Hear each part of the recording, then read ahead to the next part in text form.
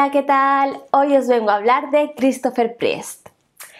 Quería hacer este vídeo cuando hubiese leído todo lo que me falta eh, por leer del autor. En realidad, eh, de lo que se ha traducido me quedan tres novelas por leer, pero aprovechando el mayo sci-fi y que creo que he leído lo suficiente del autor como para hablar en un vídeo sobre él y así pues intentar convencer a los que me estáis viendo de que lo leáis.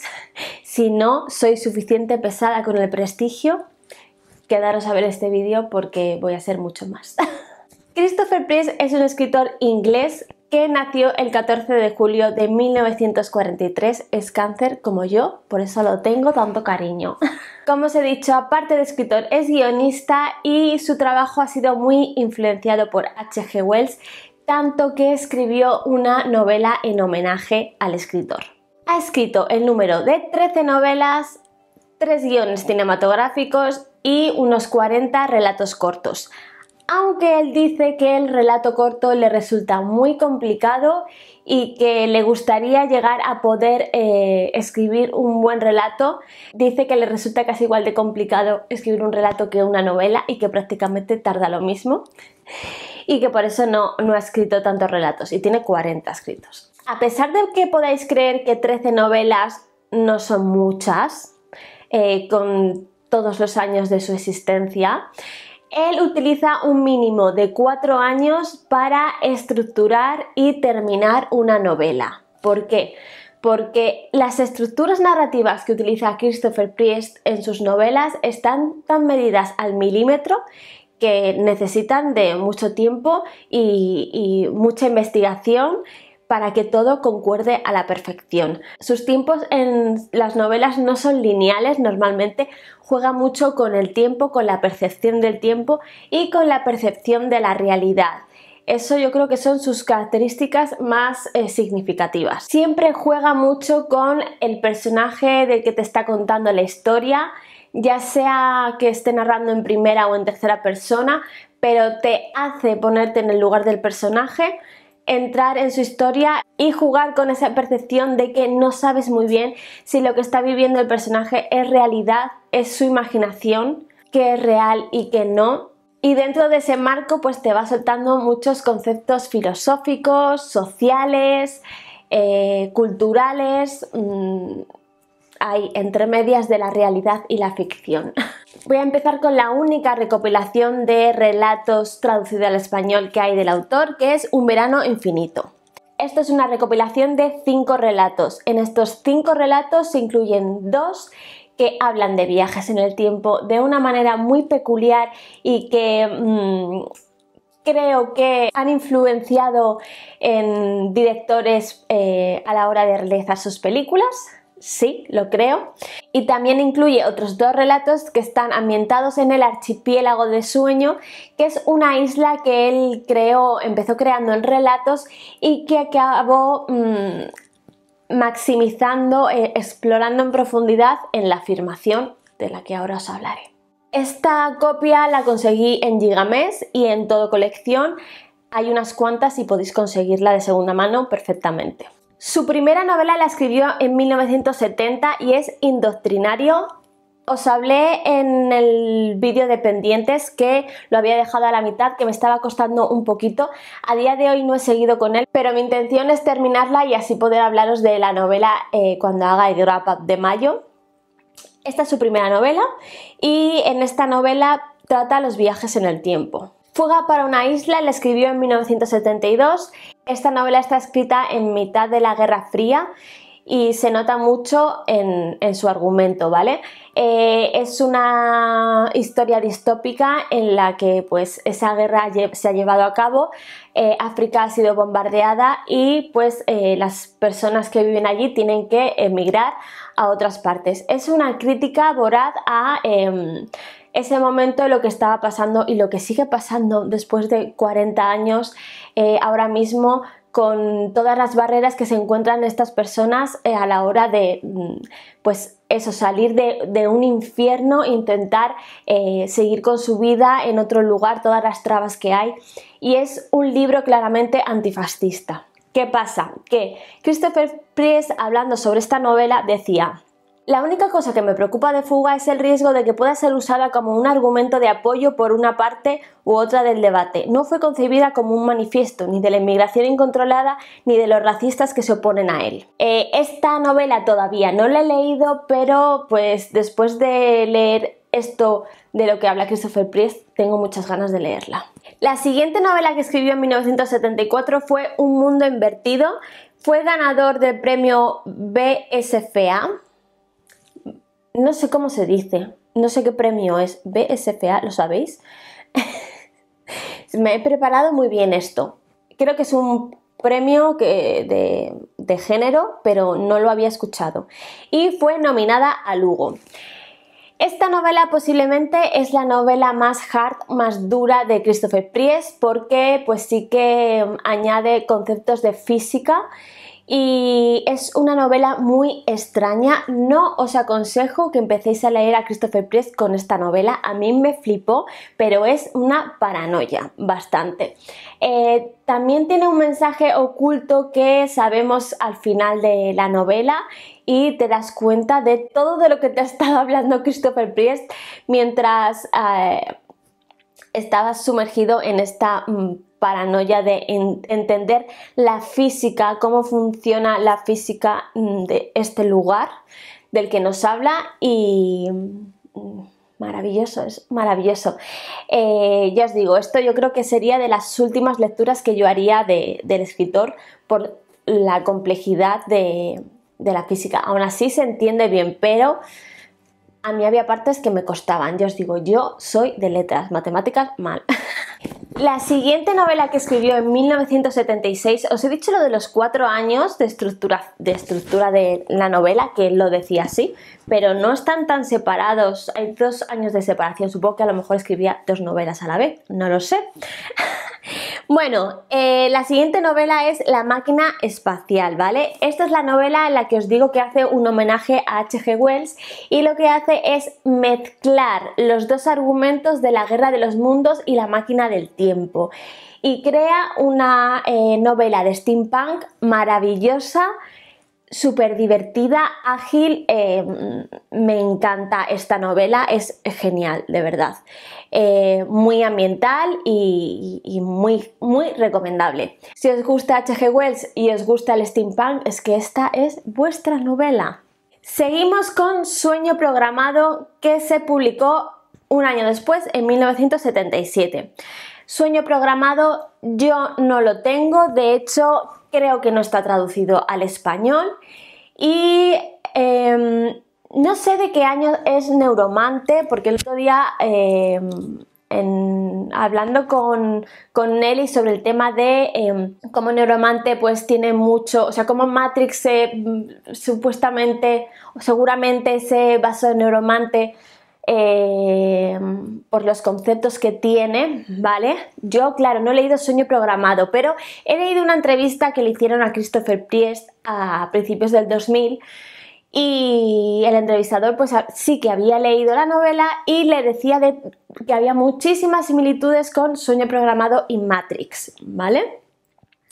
Em, os leo algunas cosas de las que dice Christopher Priest. Dice, siento que la manera de funcionar de la realidad virtual es muy parecida al proceso que sigue el escritor cuando piensa una idea e intenta escribirla. Ese es el motivo por el que a él le gusta tanto hablar sobre estos temas porque tiene más de una novela con esta temática. Sueño programado. En él la realidad virtual es una especie de establecimiento hotelero en la costa donde la gente va de vacaciones para sentarse en la playa, nadar, hacer el amor. Esa es mi realidad virtual, mi visión de la realidad virtual. El sueño sale mal porque es creado por una presencia externa maligna, justo el mismo argumento de Matrix. ¿Y no recuerda al principio también un poco a San Junípero? Hago un salto en el tiempo de publicación, que esto le encantaría a Christopher Priest, y os hablo de 1998 y la publicación de Experiencias Extremas S.A. Esta novela de aquí que me flipa mogollón y que junto con Sueño Programado eh, Christopher Priest unió las dos ideas de las novelas y creó el guion de System Z que llevó a la pantalla Cronenberg el año siguiente de la publicación de esta novela. Esta novela es una maravilla, creo que también ha influenciado mucho eh, a otros creadores. Iba a hacer un vídeo hablando de las similitudes de las historias de Christopher Priest y Christopher Nolan, además de que Nolan eh, llevó a cabo la adaptación del Prestigio de Christopher Priest y creo además que novelas suyas como eh, Origen o Tenet eh, tienen mucha influencia las historias de Christopher Priest en esos guiones y, y esta sobre todo en Origen. Mm, no os voy a hablar más, ¿vale? Pero en serio, tenéis que leer esta novela. En esta novela también, como en todas las de Christopher Priest, siempre hay una crítica detrás, eh, una crítica velada a la sociedad o no tan velada. Y aquí se habla bastante de estas masacres que mm, en la época en la que escribió Christopher Priest la novela, pues fue un poco boom, las masacres en Estados Unidos, en institutos y en otros lugares y os leo lo que dice sobre el tema. Mi mujer es americana y ella dejó América debido a la cultura de la violencia que hay allí. Yo estoy totalmente en contra de la violencia. Si algo me amenaza, grito sin parar. Lo que yo pienso es que no tiene sentido que tengas un arma si no estás preparado para usarla. Y si lo estás, tienes que estar preparado para matar. Para mí, matar a alguien es dar un paso realmente impensable. Regresamos atrás en el tiempo y llegamos a 1981, cuando escribió lo que para mí a pesar de que mi novela favorita es El Prestigio, creo que para mí su obra más redonda es La afirmación. Esto es una mm, auténtica obra de arte. O, sí, o sea, siempre que hablo de esta novela lo digo, pero realmente lo pienso. Es una obra de arte. Ya está. Aquí es donde él amplía el universo del archipiélago del sueño y nos habla de un hombre que, pues, eh, por circunstancias de la vida, pues le va mal en, todo, en realidad, en, en el trabajo, en el amor, en la familia, en él mismo y decide hacer un viaje y no sabemos nunca si ese viaje es mental o es físico a este archipiélago del sueño y hay una hay una de pensamientos en esta novela, de, reflexiones, es que es, maravillosa. Os voy a leer también un poco eh, de lo que habla Christopher Priest sobre la afirmación y sobre eh, este tipo de eh, narraciones en las que se mezcla la realidad y la fantasía. Podríamos decir que hay una tensión entre el mundo exterior objetivo que nosotros vemos y experimentamos y el hecho de que vemos y experimentamos. Que yo veo esto pero tú ves lo otro. Pongamos que digo, esto es una mesa y tú la miras y piensas que es una mesa, pero lo que tú ves es la misma mesa que veo yo. Mientras eres un niño, esto es solo algo sobre lo que pensar, no es algo original, pero me parece que en la actualidad, en el mundo, en los medios de comunicación, en los anuncios, lo que lo hace sorprendente es la manera en que se usa la fantasía para crear algo mejor que la realidad. La vida es algo caótico, traspapelas cosas, haces afirmaciones que luego se te olvidan, te sientes perdido, llegas tarde, ya sabes, en los libros la gente jamás va al baño. Y esto tiene mucho que ver con los recuerdos. Cuando estoy escribiendo sobre la memoria, intento reflejar esto. No me gusta confundir al lector. No intento escribir un libro que sea imposible de leer, sino que quiero que la gente sea consciente de esto, que reconozca hasta qué profundo nivel dependen de su memoria. Es que, de verdad, a mí todo, esto de la memoria me, me fascina, me fascina. No se había dicho, perdón, que la máquina espacial ganó el Premio Internacional de Ciencia Ficción en el Premio Ditmar. ¿Vale? Y la afirmación fue nominado a otro BSFA. en 1984 escribió El Glamour, también nominado a este premio. Esta es otra de las novelas que no tengo y que sí que está traducida y que tengo muchísimas, muchísimas ganas de leer. ¿Por qué? Porque en esta novela también juega mucho con la percepción de los protagonistas y hasta ahí puedo leer, porque he intentado leer sinopsis y creo que cuentan demasiado y no quiero exponerme, quiero leerla sin saber nada y adentrarme. Después, en 1986 escribió el guion de Cortocircuito y de Mona Lisa y después ya en 1990 escribió The Quiet Woman, novela que tampoco se ha traducido ya al español. Y Mm, no he encontrado eh, nada sobre ella. Así que no sé, estoy perdida. Igual que las últimas, que tampoco. En 1995 escribe lo que para mí es la novela que me hizo eh, conocer al autor, que me enamoró, que me fascinó, y estoy hablando del Prestigio. El Prestigio fue nominada al BSFA, al Clark Awards y fue ganador del World Fantasy Awards y del James Tweed Black Memorial, Memorial Prize. Mm, ya no sé qué decir más sobre esta novela que no haya dicho ya. Es verdad que si habéis visto la adaptación de Nolan, El truco final, y leéis esta novela, pues no os vais a encontrar con em, eso que sentí yo cuando leí esta novela, que fue fascinación, em, fue sorpresa, fue hola lo que acabo de leer, me explota la cabeza. De verdad, o sea, esta novela para mí em, significó muchísimo. Y es una pena, es una pena que si eh, las personas que lean la novela a lo mejor no sientan esa sorpresa si ya conocen la, película de Nolan. Aún así, eh, la adaptación es muy libre al libro. Para mí son dos adaptaciones, o sea, para mí son dos historias totalmente diferentes. Me gustan las dos realmente, pero eh, son totalmente diferentes y las tenemos que ver como eso. Mm, el truco final es como una influencia, una versión eh, de, lo que es el prestigio. De hecho, Nolan cuando estaba rodando la, película eh, quería que eh, fuese tal la sorpresa como le pasó a él, supongo, leyendo la novela, que intentó evitar que se volviese a publicar en Estados Unidos, que se volviese a reeditar antes de publicarse la película. Que para mí eso es un poco Nolan, o sea, el libro fue antes. Estás quitando un poco de mérito a la historia de Christopher Priest, ¿vale? Quieres ser tú el protagonista, pero bueno, no pasa nada, te lo perdonamos. Vale, como os decía, en 1998 publica Experiencias Extremas S.A. En el 1999 hace el guion de System para la película de Cronenberg. Y las dos últimas novelas que ha escrito y que no han traducido y que no sé si algún día traducirán, son The Separation, que ha ganado un BSFA, el, el premio Clark y ha sido nominado al Campbell Award.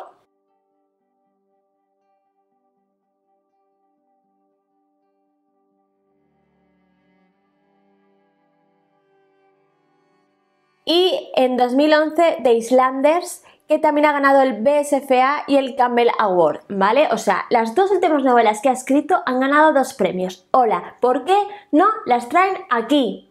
¿Las necesitamos? Yo las necesito. Vosotros también, lo sé.